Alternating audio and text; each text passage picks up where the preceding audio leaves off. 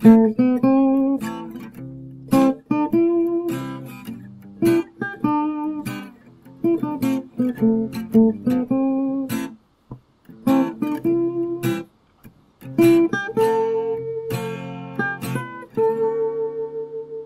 everybody and welcome to the fifth episode of the Skyrim mods series. We'll kick right off with the first mod, which you can hear in a second.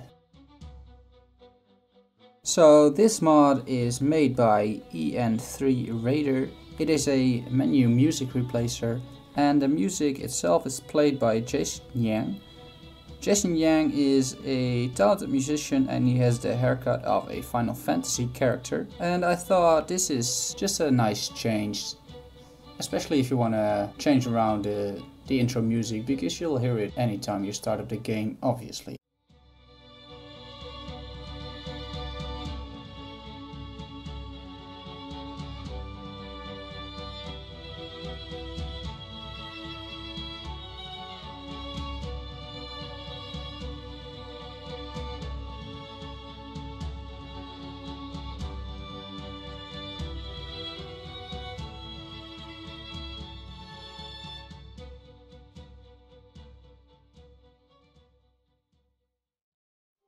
The second mod of the day is the Old Dwarven Katana by Ronnie Magnum.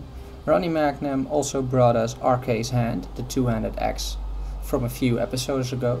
And one of the things that's really cool about Ronnie's mods is that the weapons are truly unique.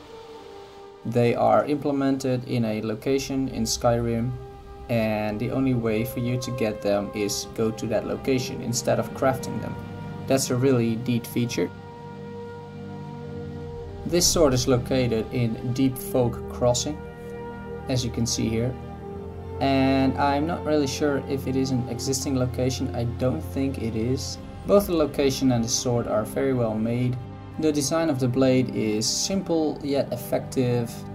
The sword is not as detailed I think as Arkay's hand was, but it is plain and simple, a dwarven katana, and there are not many of those. Most of the katanas in game are really fancy with gems and shiny blades and all that, but Ronnie Magnum's Dwarven Katana is plain, simple, edgy, and it still feels like a katana. Thumbs up for this author. And katanas don't need to be shiny, as this katana proves all it needs to do is chop someone's head off.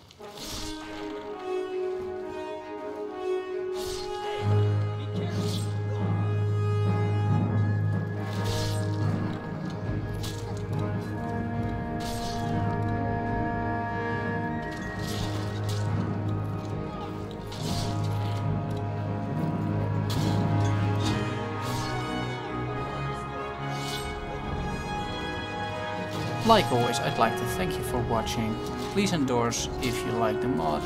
Please subscribe if you like the channel and like the video if you like the video. See you next time and have fun gaming.